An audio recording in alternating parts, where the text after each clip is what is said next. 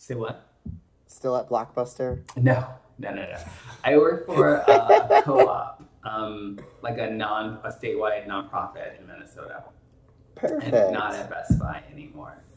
Just so all the listeners know, um, my running joke with Jerome, because it's always where in the world is Jerome?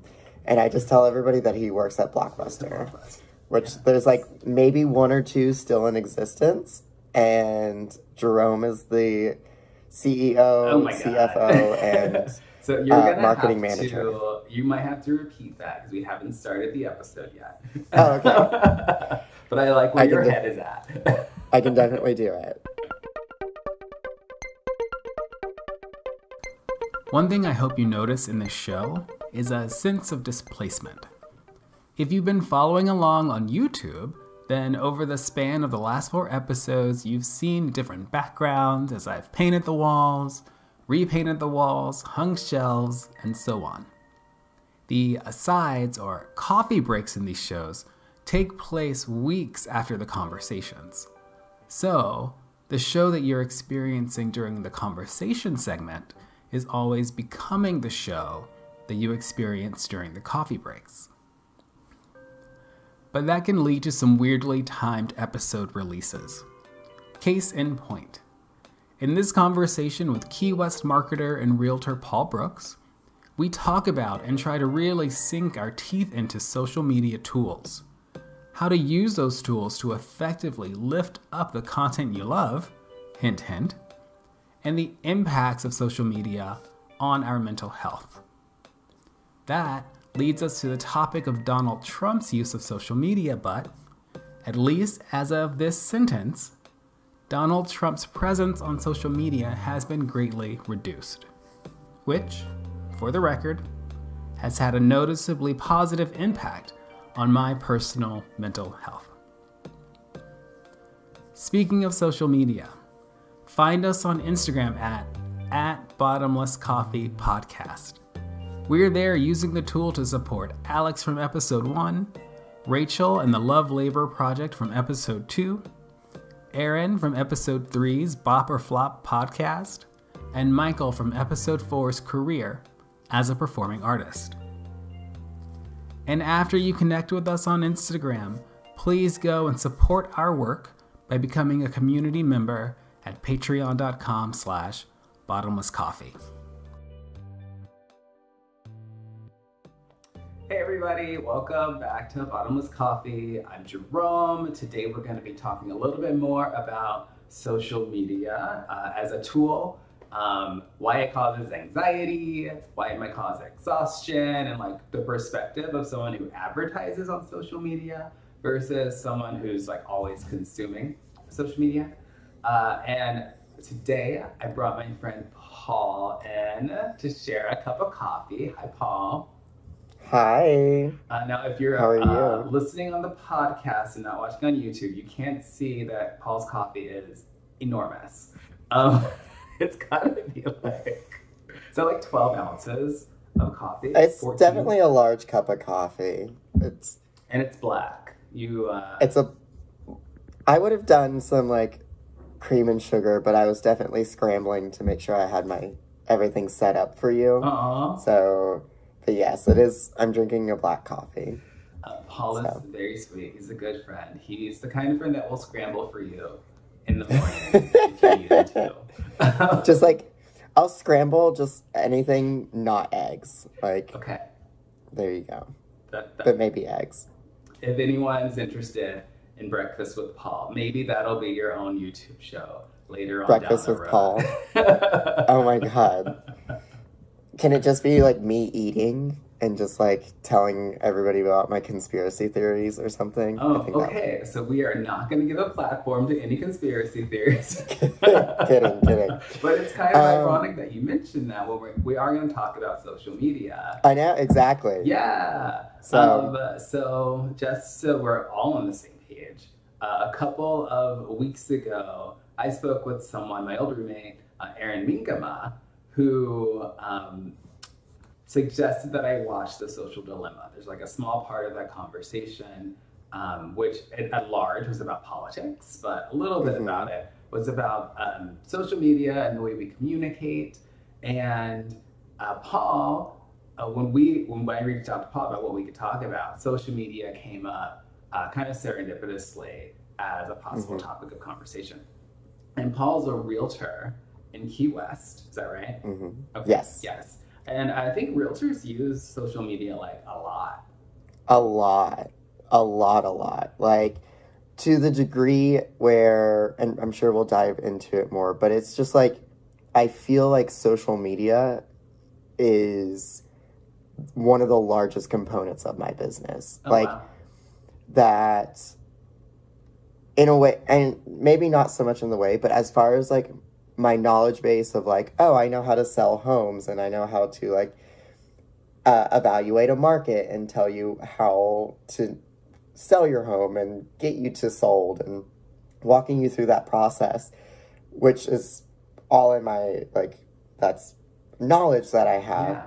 but then so much of my business is based off of social media and like that networking aspect. Yeah. But obviously, since COVID, you know, everything is done social like via social media. We're not out having social interactions, and so everything I have to do is social media. And I- for one, like I'm not a big social media person. Like Oh, I don't I know think- if that's true. I okay. I will say this. I like I'm a big social media person like but as far as like producing content and Mm. trying like that is where I feel like I always flaw in my business because it I'm like, "Oh, I don't want to do it" cuz I'm like I feel like that it's like that that privacy ex- aspect of like, "Oh, I just want to like like people's pictures and like just be like, there you go, here's some love for you. So And- we are. I feel as though you are kind of hinting at the line between like using social media professionally and Mhm. using it in your personal life. And so um, you talked about content creation a little bit, which is an important component for both, you know, the business aspect and the personal aspect. Um, and how you you just kind of feel a little exhausted. It sounds like when it comes to producing content for your business. Do you feel the same way when it comes to producing content for your like your personal uh, social media profiles? It's honestly both. Like, it's like I'm like now thinking. I'm like I don't want to say like all the time, but Oh. um, with social media and creating content, it's. I actually was talking to a friend of mine um, who.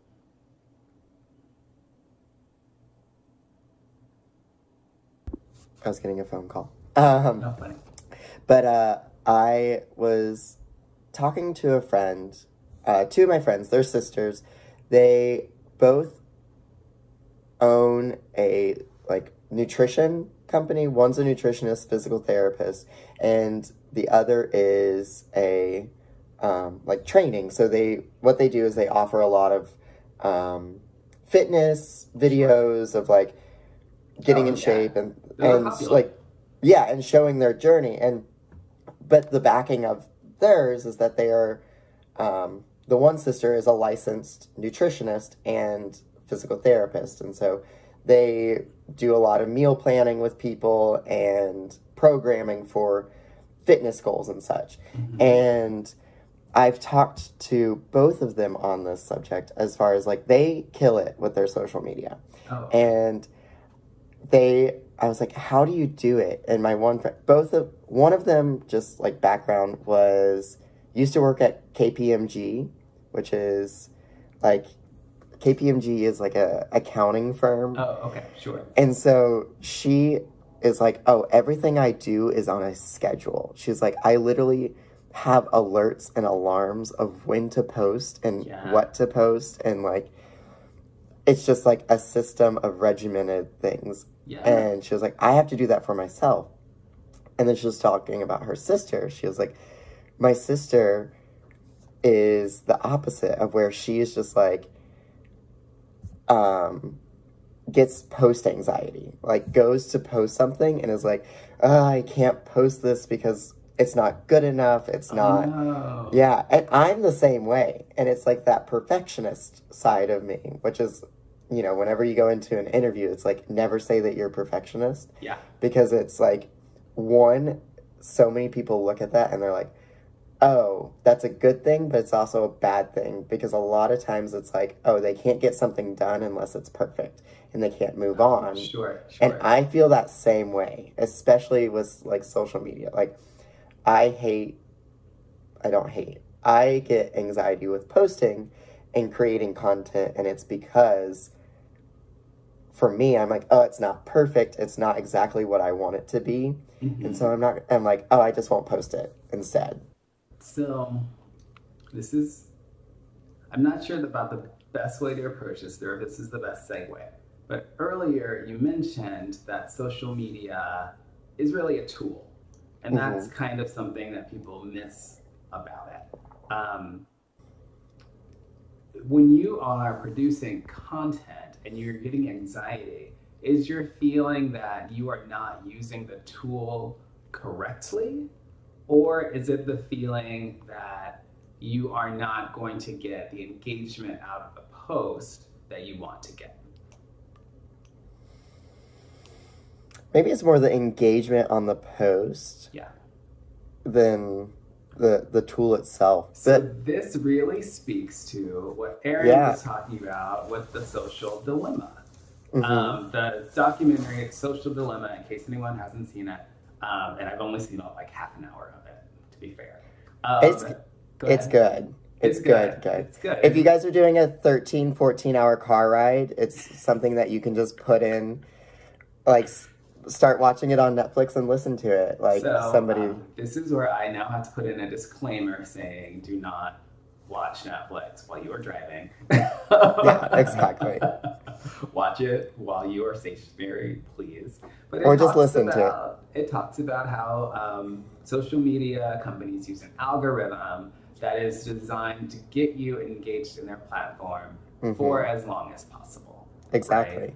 Um, and And- so when your anxiety is kind of related to that platform, in that what you're really thinking is that, oh, I'm not designing my content for the for the algorithm. The algorithm Mm-hmm. is not going to show my content to as many people for X, Y, or Z reasons. Yeah. that- Kind of. And, well, also, I think with marketing in, in general, this is just like a broad spectrum of marketing. Sure. Marketing the best marketing is marketing that is effective that's Yes.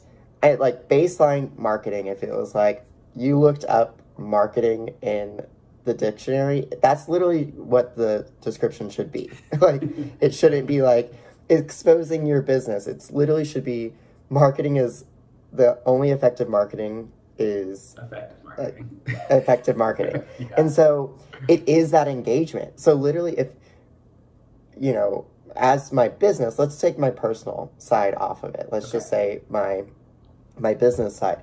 If I am not posting things that's engaging to people, then I'm not doing my job as a real estate agent or a realtor um, because I'm not posting effective marketing.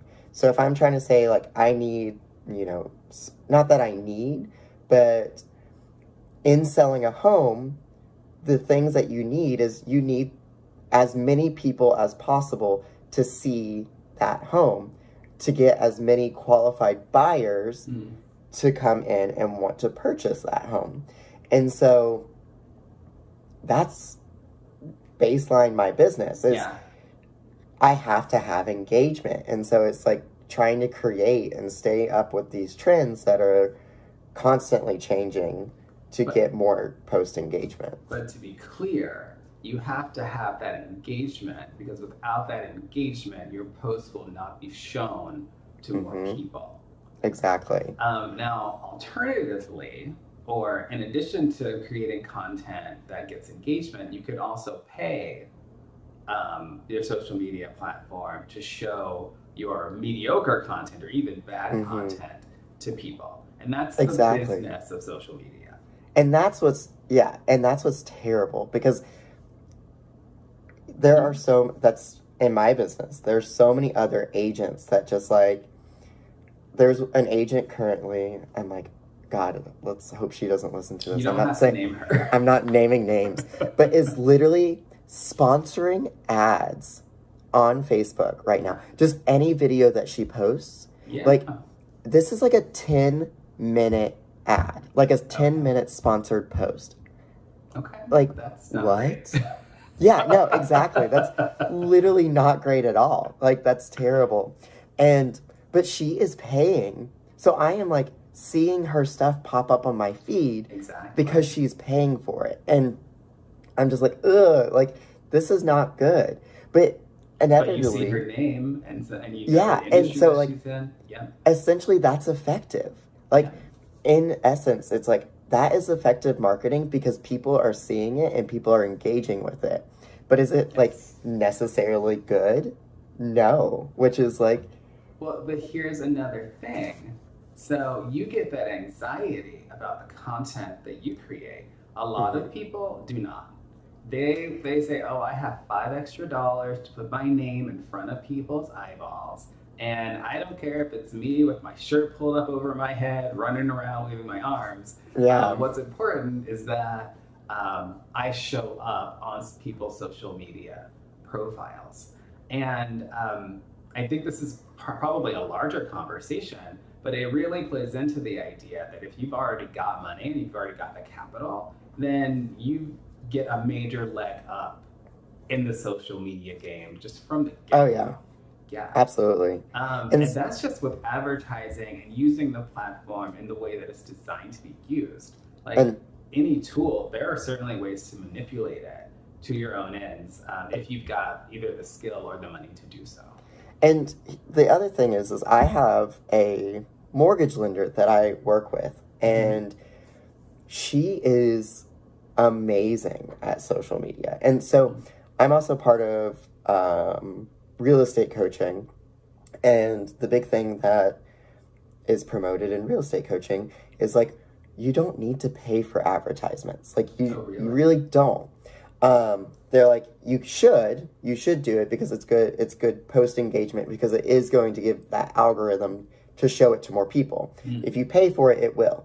But at the same time, if you're posting content that people are engaging in, you're it's effectively free marketing, which is Sure. such a huge benefit about social media. And one of my lenders that I work with, she is just amazing about it. She moved down to the Keys only like three years ago, and she created a Facebook page that now, I don't, I mean, this, it grows daily, Mm. but it has like over 50,000 followers on it that she grew organically. How do, how She- do you know that she grew it organically? because she told me. She just she was like i was like please tell me if you're lying. And she was like Oh, okay. i'm not. Um i was like she was like i'm not. She's like i've maybe sponsored a few ads here and there. She's like but honestly the content that i have produced people just share it. Because it's Mm, i mean we live in a beautiful island and that's true. and so it's it's easy to share that content and so it's like it's people want to share because it's like look at this nice beautiful island picture and so that's what she does and she just gets people that share her like she creates funny memes about her job and No. she gets leads from get that shared. People love Yeah. them. Yes. and so she has created this like amazing business that sh- through marketing of like and free. She's doing this all for free, or which goes back into like that social media tool, being social media, using it as a tool and a platform where you can grow a business. And I'm like, and I have so many stories. I mean, of friends that also are small business owners that use their use Instagram. Instagram is their like Mhm. they sell vintage wares and um, they've killed it. I I checked the other day and they have like over ten thousand followers and to the point where I've had other friends be like, "Wait, you're hanging out with?" I, I'll tag them. I'm like, "It's at Lost Hunt, at Lost Hunt Vintage." they're like, "Oh, you're friends with them," and I was like, Oh, "I was there when they started this business." I was like, like, I was there before they were cool. Yeah, Um, listen, well, hold on. Since it is Go ahead. marketing, we're talking about social media. Maybe you should share your your tag, your Oh. um, Instagram and everything Oh, before you promote other people. I'm like everybody before me. Um, I have uh, this. We were talk. This is something that we were talking about before, but it's like the amount of social profiles that I have. Yeah. Um, my I have two Instagrams. So my real estate Instagram is at p brooks realtor. That's it for that one. Okay. And then my personal Instagram is at insta underscore brooks. So Okay. they can go follow me there. One's more fun, and the other one is more like beautiful pictures of Key West and more artsy glamour. we love Maybe it. not glamour. It's just more artsy and pretty. Um, more curated. That's a vibe. That's Mm-hmm. a vibe. So um, my social media, I have a pro- maybe a heavier presence on social media um, than I really ever think about. Oh, I have more. Those are just the two that like I'm willing to like very quickly put out there because what it's just platforms? What other platforms are you on, and how many accounts do you have on those platforms? okay. So Instagram, I have four. I have four accounts that I Four switched through. Okay. I have four instas. So I have You don't have to share. You don't have to share I- them all. yeah, I have my two business, and then I have my real estate team and a TV show that we do, but we haven't been doing since COVID. Okay. Um, and then obviously YouTube, which is like doubles up on those, like Yeah. same thing. You double up on so eight there, and then we go to Facebook. I have two Facebooks, personal, professional, a, and three more pages there. So what's that put me up to? Twelve. it's like, whoa. And then- fingers. yeah, I'm like 12. and then just also, you know, of course I have a LinkedIn profile, but that is, I don't use it. But there's just like hidden profiles. Uh, I have a Twitter, but I don't use it. It's like I follow it for a few news things. Like I follow Donald Trump just because, like, literally, I think all of us had to. Basically, Oh like no. I did I did it just because I needed to be like up in the news and be like, what is he saying? Um, Mm. like Sure, because sure, that was his like preferred news media. I will like- circle back to that in a second. But Okay. Twitter and then TikTok, I'm guessing. I have a TikTok, but I don't use it. It's just like I I deleted it, and then of course my like family and friends send me TikToks, and the fact that it would like open up in a browser. Oh, yeah. I, that annoyed me, and so I just downloaded it again so that I could see it, so that I could be like, haha, that's funny, to my like sister and stuff like that. But I do use it occasionally. You've got a lot. You, I I now think we have probably have about the same number of uh, social media accounts that we manage or Mhm. endure, right? So the idea of getting exhausted just from the number of accounts that you have totally makes sense. Yeah, Um, and I do think that there are certain demographics within each platform, um, for sure. Uh, but Mhm. let's circle back to the tool, the idea of the tool, and Twitter in particular. Okay. oh, okay. I want to talk about Twitter. I also want to check. Are you on Nextdoor? no. Okay, good. Because I don't want Nextdoor. Um, I'm like, I have no idea what it So is. Don't. Twitter and Donald Trump. Um, I feel as though Trump is one of the savviest social media users in modern history. He's also one of the heaviest purveyors of misinformation and outright lies in modern history. I think. I find it fascinating that knowing how social media works mhm. and knowing that he's a liar, um, you still follow him because you're interested in what he's saying, even though, like, what he's saying, you know, it has very little bearing on what actually happens in your day to day life. but it does have a lot of bearing on what people are going to be talking about during the Exactly. Yeah. I mean, I don't know how I typically get my news is I'm not a like I'll read through some articles, but what I do every morning, this is part of like my coffee Yeah. in the morning is Yeah. um, and making my smoothie is I listen to Up First on NPR. Okay. And so, like, it's a quick 15 minute segment. They highlight a couple things that have happened previous day or happening that day. And Love so that's that. how, Love NPR. Watch NPR. yes. Uh, donate to NPR if you can. Um, but yeah, that's my little snippet. But they, they always are like, Donald, Donald Trump tweeted, Donald Trump tweeted, Donald Trump tweeted. And so Yeah. that's literally like all I'm like, let me just go in and see what the craziness is. And I think the thing is about social media, which before we talked about it is like, oh, it's a good thing. And then this, I'm like, oh, it's bad. But that share button, it's too easy. It is uh-huh. too easy to share content. Like, Okay. it's like that double-edged sword of like my friend uh, mortgage lender that grew a following in her business to 50,000 people in a few years because people sharing her content.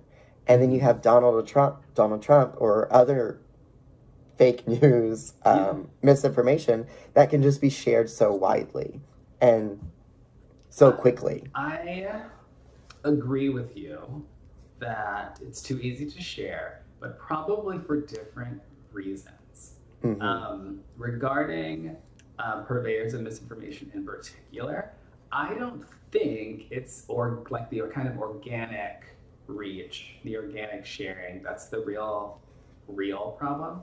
I think Mhm. it's when people create like robots uh, or programs to go in um, or fake profiles to go in and artificially inflate um, likes and shares and saves and what have you.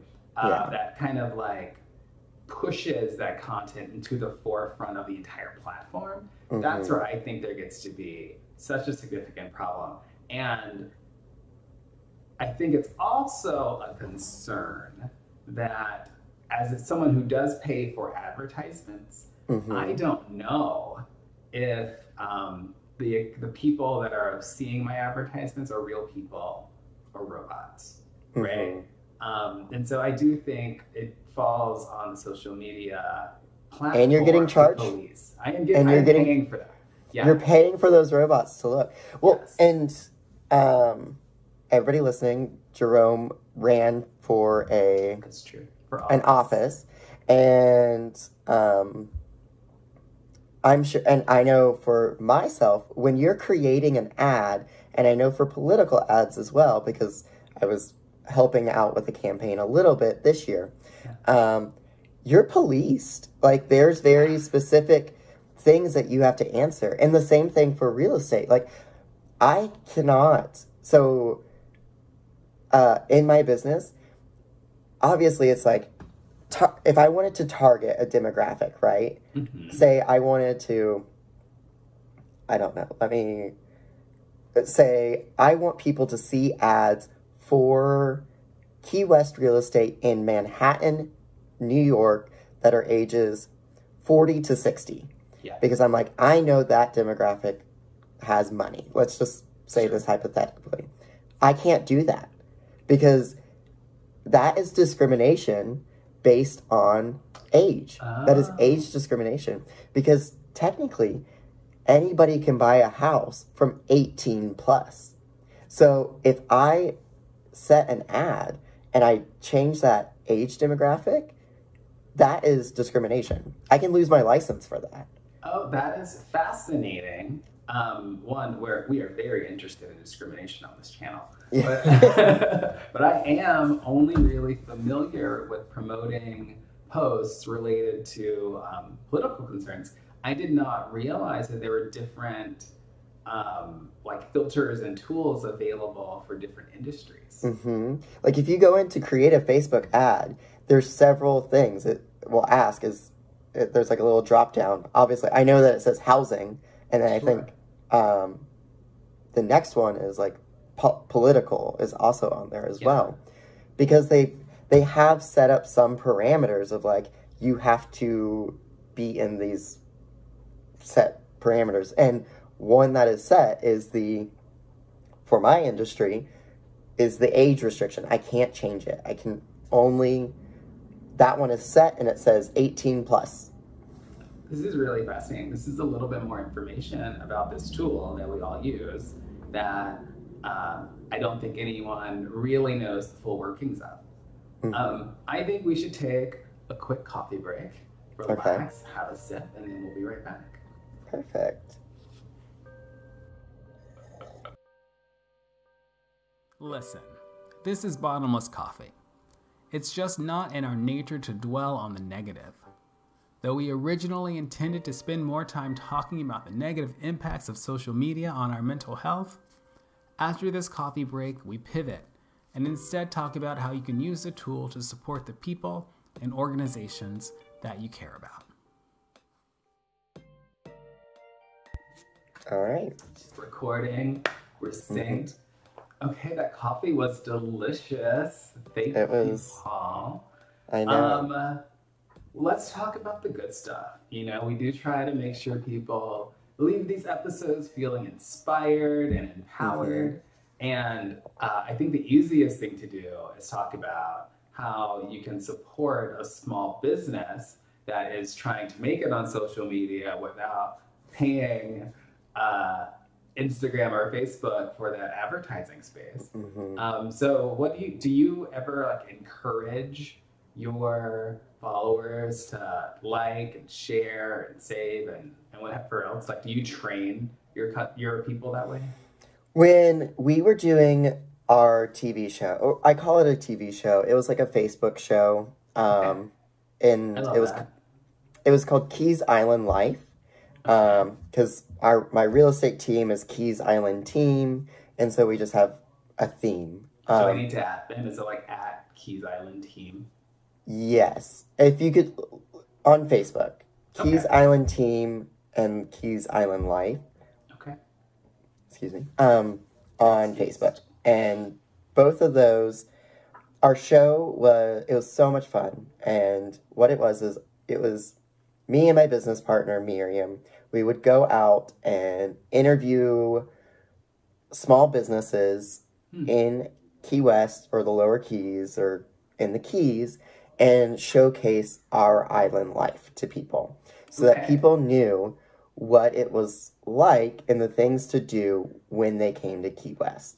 Yeah. And in that, at the end of every episode, it was like, please comment, like, share, and subscribe. Um, and so, yes, training that audience to share our posts and get that engagement with people.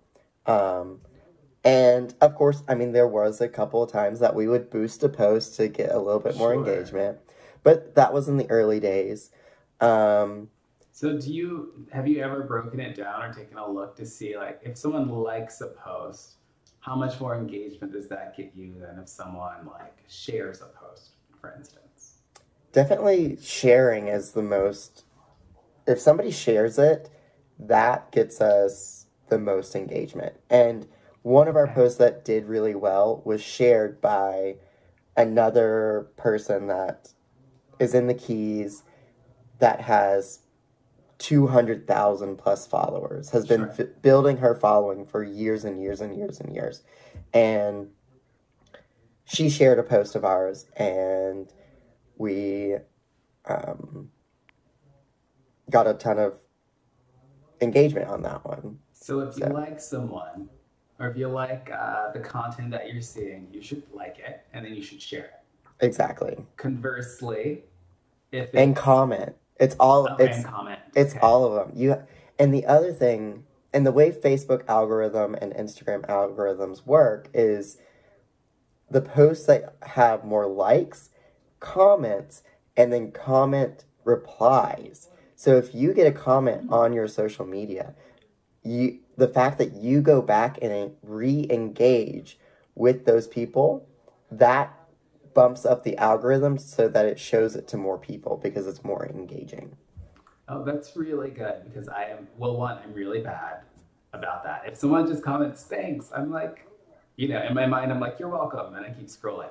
Mhm. Um, but if someone takes a minute to give like real substantive feedback or say how much they appreciate it, then I'm far more likely to go in and reply. So I think maybe uh, relating to comments, like leave a good comment. Like a Mhm. little hearts are fine, emojis are cute. Um, but if you are if you want to really help that business, then you could leave a positive review Yes. in there. That would be really nice. Um, you could, you know, leave, say that it's inspiring. You can say, "Oh, yeah, Paul's amazing," or something like that. Yeah. That's, um, that's an actual like interaction hmm that helps the business. And I think that let's follow that up with I think that that's something that is good about can be good about social media. I'm gonna sneeze. I'm like, I have a bunch of flowers in front of me. I think Oh. I'm at my parents' house in North Carolina, and I think somebody brought my mom flowers. Well, you're allowed to sneeze. We will Um, do it for the audience, but if you sneeze, it's okay. but um, something that is good about social media is, you know, you do get to see what your friends are doing in the world.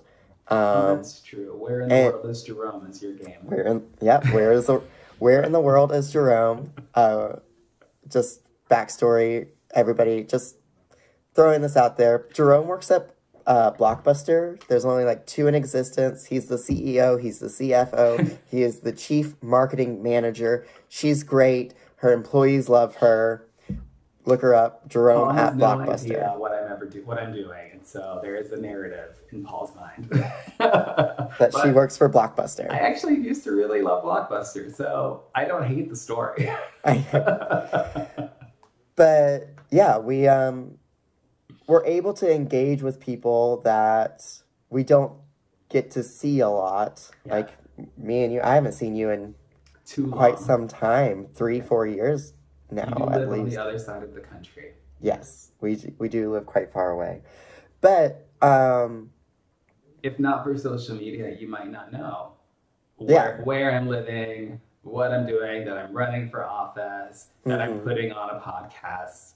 Um, yeah, there are use. It's a useful tool in a lot of respects. and it's and it goes back into supporting your friends supporting and that's what's great is we can give you support and be Yeah. there for people when otherwise it would be hard if we you know you live in minnesota and i live in florida and you know you're say you're running for office again and it's like oh i share your post and say oh my friend that because i have a different group of friends that you know i probably know some people in minnesota that you don't know Very that true. might see oh he knows somebody let's oh he's in my district i should maybe look into him and see what he supports because my friend is friends with him and so Yeah.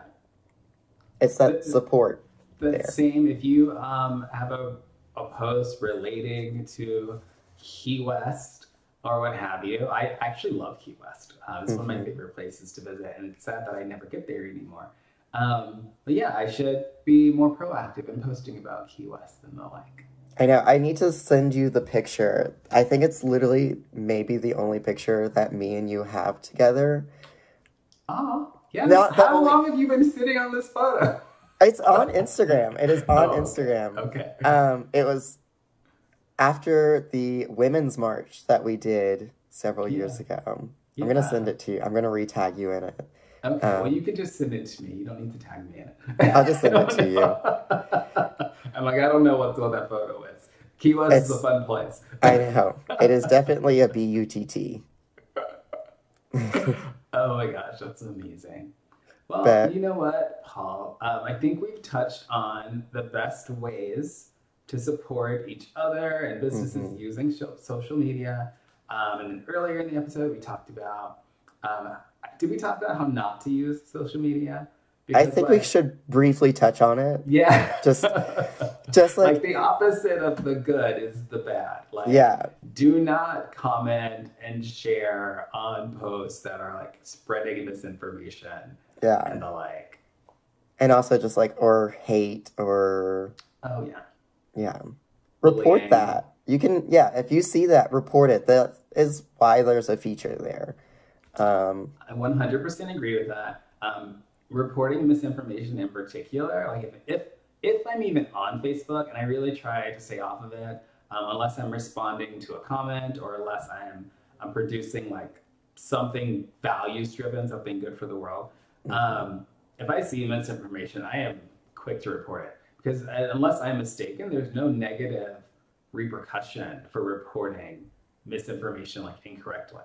no, I don't think so. Yeah. I mean it's you're flag like, it. no, this is wrong. Yeah.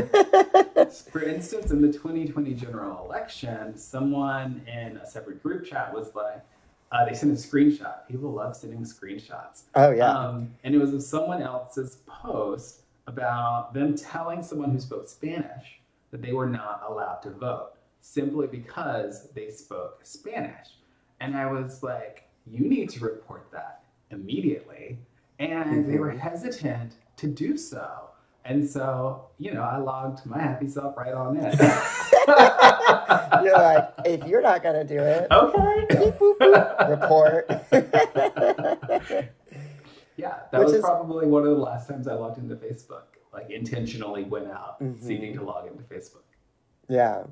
I wish I could not. I wish I didn't have to all the time. I wish Yeah. my business didn't require it, but it does. And so I It do does. have to engage.